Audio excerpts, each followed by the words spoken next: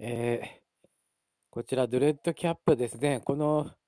後輪の方もね、もうすぐ終わっちゃうみたいですけど、一応ね、やってますね。まあ、魔球ですね。ちょっと破滅球は さすがに無理だと思ってやってないんですけど、魔球の方で、これ、今のところこのデッキでですね、まああ、かなり運が絡むんですけど、まあ何回かやって勝つっていうような形でやってますね。えまあ、どっちかというとマルチでやった方が、けまあ、かあの勝てたりするんですけど、ええー、まあ、こちらご覧のように、あの、聖ユニマのキャラは、よいしょ。このカーンと、よこれガシャで引いたんですけど、えー、テッカーテン、えー、この2つしかないですね。まあ、地雷ガードも2つしかないんですけど、えあとはまあ、スーパーシールドブレーカー、あ入れてますね。えまあ、この、これらを駆使してですね、えー、一旦でできる限り、こう、シールドを2つとも破壊して、えー、まあ、雑魚もできるだけ早く片付けてっていうような形ですね。で、回復できるキャラ多めに入れてますんで、まあ、一旦一旦確実に回復させながらということで、まあ結構クリアできないにしても続くようにはなっているデッキですね。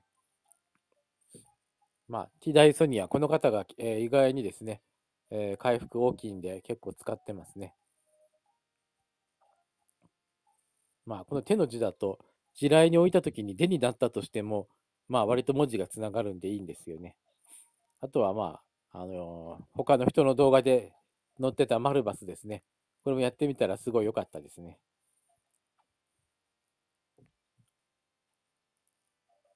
まあ、そうですね。この運の字2つがちょっと厄介ですよね。この運の字は運で終わる4字以上、運で終わらなきゃいけないということになります。こっち、こっちは5文字以上ですね。これ気をつけないといけない。こっちの運海の壺の方は、まあ、運で終わる4字以上ということなんですけど、ね、まあ、ですから、要するに、運の字、この3つともか、3つとも大変ですね。ねまあ、あとは意外にこう、ねずこっていうの、ちょっとよく俺、地雷にあえて入れたりしたんですけど、ねずこはやっぱり根の字になった時に、ちょっとダメですね。なかなかこう、不合座条件達成できなかったりするんで、今は地雷には入れてないですね。